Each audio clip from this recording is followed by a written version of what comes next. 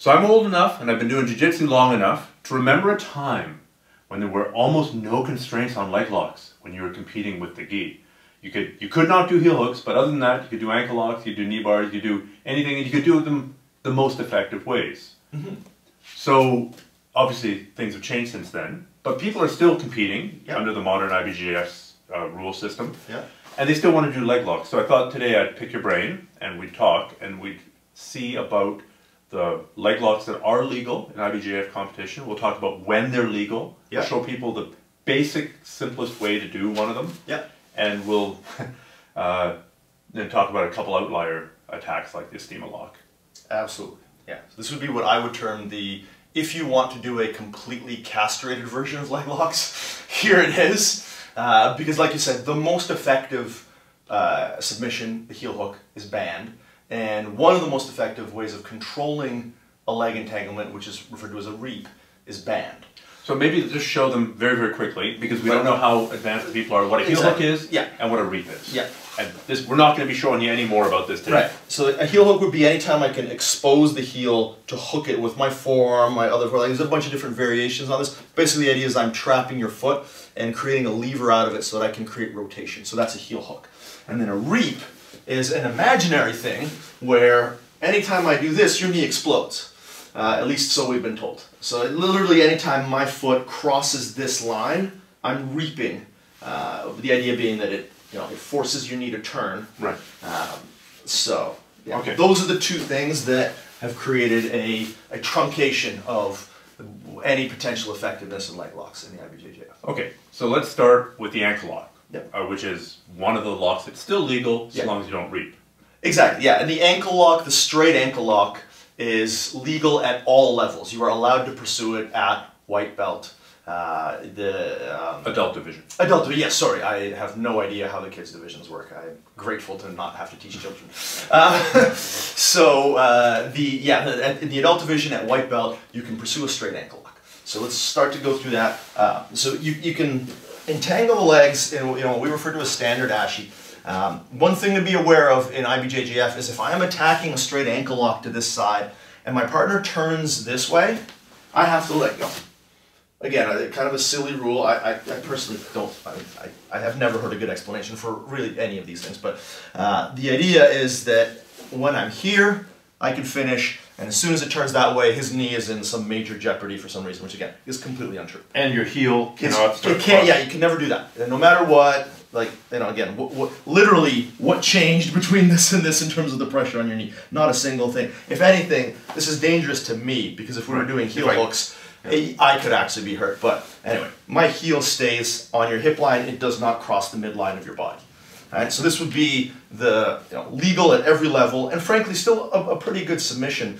Uh, if we just go through a, a couple of the, like, the, the basic concepts that we want to use here. First thing I want to do is control your hip. I want to be immobilizing your hip, preferably with some sort of pinning pressure. Ideally with my shin driving in. I'm always trying to avoid my partner's nuts when I'm driving this pressure in. But, you know, it'll happen sometimes. But and then my foot is blocking. And, and another pretty important detail here is if I can, which not everyone can, but if I can place the ball of my foot on the ground when we're doing this, it's going to create a much stronger frame. If my foot is just here like this, the, the lever access is much greater for Stephan. So ideally, my shin is driving in, my heel is curling in, my foot is on the hip, and I'm putting the ball of my foot on the ground. I'll be up on my elbow as I'm trying to establish the grip.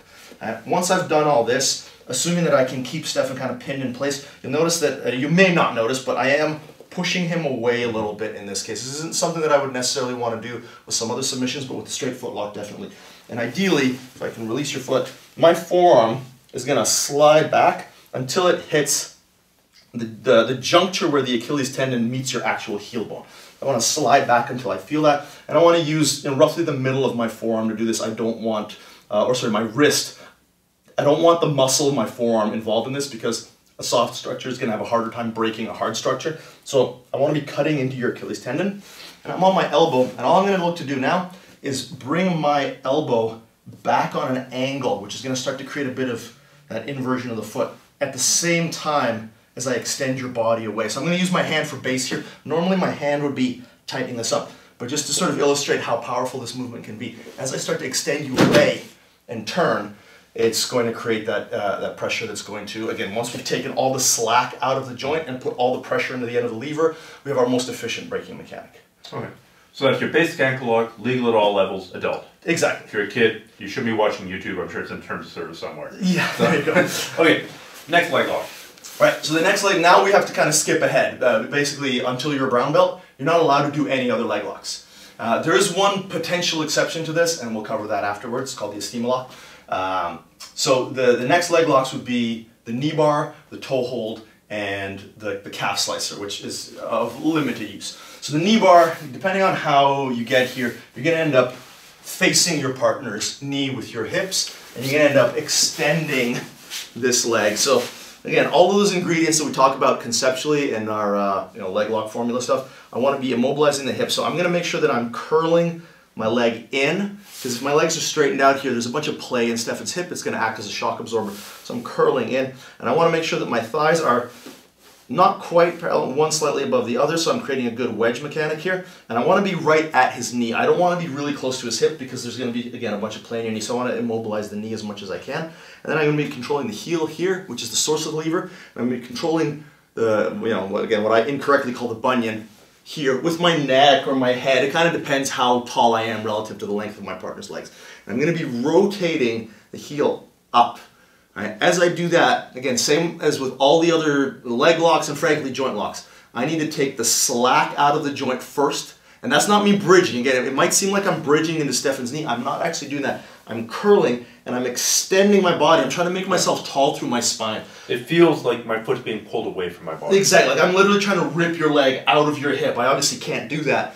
But that's the, that's the nature of the motion. It's straight up. And then once I've taken all the slack out of the joint and I don't feel like I can go any further, then I apply rotation on the heel and downward pressure. Only then do I start to hip in. The hipping in is the last thing you should do. You save that. It's a big energy expenditure. You save it for when you've taken all that slack out of the joint uh, and all of the ligaments, all the, the cartilage, everything's stretched to its maximum capacity to, uh, to undergo uh, or to withstand pressure. So we want our maximum pressure against the weakest possible structure of the leg. Now, with the rotational control there that you're establishing using your face and the heel, yeah. have you run into any problems or heard of any problems of getting dinged for applying a heel hook from a weird or twisting leg lock from a weird direction? You know, I have not, but now that this video is out there, and you know, and, and, and more and more information is getting out there about the rotational nature uh, of a lot of leg locks and how they can be made more powerful that way. okay. you, know, You I'm so okay. sorry if I just ruined your chance of knee barring. So, Okay. yeah. But I mean, you do need to establish rotational control. Absolutely. Otherwise, he's just going to turn, right? And one of the things, you know, this will kind of uh, you know segue a little bit. One of the things that I can immediately do when that happens is try to go for a toe hold. Right. Uh, now, unfortunately, as soon as So, you Rob, complete what's a toe hold? right, a toe hold is where I'm gripping the toes to create a bend in the foot. Now, we're not necessarily going to do it this way because if somebody keeps turning that way, all of a sudden I'm reaping oh, and I've. I've got to let go. Right, so we want to be really careful about how we're applying the toe hold in IBJJF. Uh, as long as I'm facing your hips and I'm trying to apply the pressure here, I'm generally okay. But if at any point this sort of thing were to happen, I was still like, right now, as, as far as I know, we're okay as long as I'm not touching your foot. And again, this is kind of the problem with the IBJJF rules is they're so labyrinthine and Byzantine that sometimes some things that you would think are like, as long as I'm not touching your foot, there's no, this should be fine. But I know some people would call this a reap at this point. The same way that I know that some people will call the 411 legal as long as I'm not touching this foot, and as soon as I touch it, it's a reap and it's illegal. All right, so uh, just steer clear of it. yeah, I, exactly. I, I try to really steer clear of like basically attack the straight foot lock, attack the knee bar, and you can attack the toe hold if you're in what we would call outside ashi, right? So I can attack the toe hold from here because there's no risk of a reap. If I find myself in this position, I'm kind of, I- I'm not quite over enough to attack the knee bar, but I can definitely make a grip. Again, we're always targeting that bunion because it's, or bunions or whatever you want to call them, because it's the end of the lever. So I'm gripping, I am going to use my thumb. I'm going to come around here, I'm going to use my thumb. And my goal, again, this is contrary to how a lot of people teach it. This is contrary to how I originally learned it, but I am extremely fortunate to be able to train with Kyotera. and he showed me this, like his version of how to finish a footlock or a toe hold, which is in my experience much, much more effective. It's, it, toe hold went from something I basically ignored and had no respect for in training to something I was really afraid of. Uh, and the idea is that I'm not driving the heel towards your butt, but I'm actually pulling laterally on your knee as I do it. So I'm pushing down the same structure that you would have seen in the past, which is the idea of raising this forearm and pushing the toes down, but I'm actually trying to move your leg this way against the side of your knee to create maximum pressure in your foot. Okay. So I'm not allowing the bending of your leg to create, again, that shock absorber effect. We're taking all the slack out of the joint. I'm pulling the leg away and then bringing it up to finish. Okay. So that's toe hold. That's toe hold. Ankle lock, knee bar, toe hold. Right. Now we've got calf slicers. Right. So for instance, if I were to find myself in the standard ashi and you happened to turn that way and I ended up here, this shin and the bend of your knee is going to create the potential for a calf slicer. Now, there's a bunch of different ways to do this, but basically, if I just get you to come back a little bit, um, if I can grab your hip and drive forward, that's essentially what a calf slicer is. is I'm, uh, some people actually call this a knee separator, which is a really good, because like right now, I'm not really slicing Stephan's calf. My shin is actually in his hamstring. There are versions of this where I will have my leg entangled this way, and my shin will actually be slicing into your calf. So this would be, again, another version of it. Again, I'm just driving my shin bone into the bend of your knee while I pull on the end of a lever and extend my hip. Um, this is not a fake submission. This can absolutely injure people. Uh, but in my experience with A, higher level people, and B, bendy, skinny people, you know, there are people who can very comfortably sit like this and it's really difficult to take their knee uh, or their leg to a point where you're actually doing significant enough damage.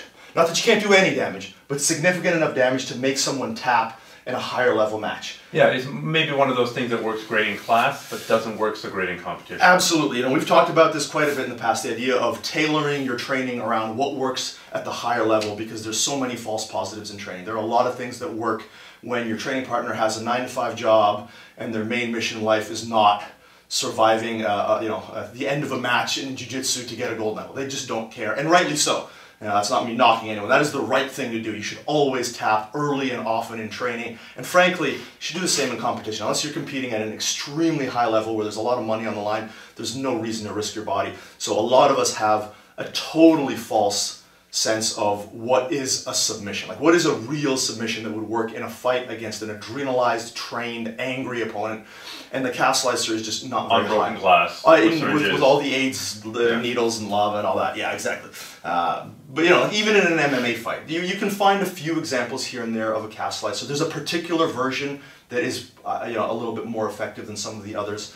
Uh, where you've got someone loaded up on top of you and you're holding their hips and you're bridging in, which I believe Charles Oliveira hit uh, in the UFC.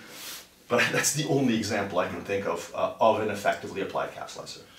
So then the final lock we were going to talk about was the Estima lock. The Estima lock, yeah. So this again, when we talk we have, about we, the, we have done a separate video on this. Yes, but let's just cover it again, just with the idea of you know talking about the IBJJF and legality and all that. So you know, at brown belt and up, this is totally fine because regardless of whether, so when Stephan places it here, regardless of whether this is interpreted as an ankle lock or a toe hold, it's still legal at brown belt and up. So if you're brown belt, you're black belt, fill your boots, man. Like get in here, get underneath the ankle, create the lever with your abdomen, drop down, get your finish, it's all good.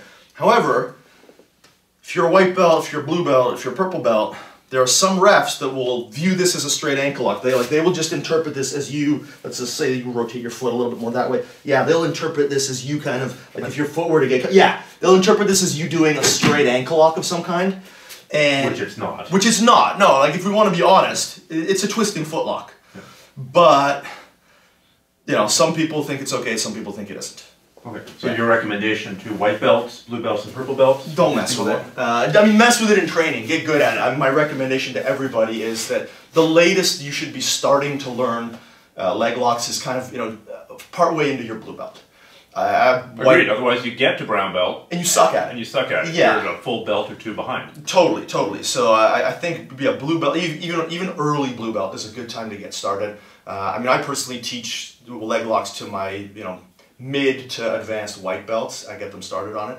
Uh, but there's there's no right answer for that. Like I, obviously these are just like depending on what your goals are in training, you may not ever care about competing. You may be More of a guideline, really. yeah, yeah, exactly, right. So you know, like, it's uh, anything like you know, when should you train this? When should you, you should you train that? You know, some people really believe you should train with punches regularly. Some people, it doesn't matter. Do whatever makes you happy. But if your goal is to be a well-rounded grappler, a, b, if your goal is to ever compete at a higher level, so you know, brown belt, black belt, or any kind of advanced no-gi division, especially nowadays. Uh, you know, we can make the argument easily five or ten years ago that you could be a very high level and accomplished competitor and not have a good understanding of the leg lock game. That's just Yeah. not true anymore. Now, if you And want most Abu Dhabi winners five or ten years ago didn't really have a. They were top level black belts at normal jiu-jitsu yeah, and pretty and they, you know, and when you're good enough at normal jujitsu, it takes an exceptional leg locker to really be able to threaten you, right? Like it took Dean Lister to come around and submit some of these guys for anyone to give any credence to the idea that leg locks could be effective Right. at high level. Nowadays, especially with the the prevalence of no gi sub only type competition, if you want to compete at any kind of high level, you absolutely have to start with this stuff at a pretty early stage in your development, or you just will not catch up. Yeah. So even earlier, if you do no gi, but Oh, yeah. with with the gi, probably I would agree. Like by the time you're blue belt, you should have a basic idea. You should at the very least understand how to do the you know the standard ashi and the straight footlock, even if it's starting at white belt. You, you should you absolutely got to know how to do that. Yeah, and then, but the ones that are only legal brown belt and up, you know, the, the knee bars. should still be introduced. Yeah. Yeah. You should you shouldn't get to your purple belt and go, I've never really done a knee bar. That's ridiculous. I, I, I completely agree. Uh, again, there are a large percentage of schools that totally disagree that you're absolutely not allowed to touch someone's feet until you're a brown belt, um, and you know that's how they do it. Yeah. I will keep my mouth shut because I don't want to piss anybody else off. Well, we've pissed off a significant percentage of my viewership already, so thank you for that uh, consideration. no worries.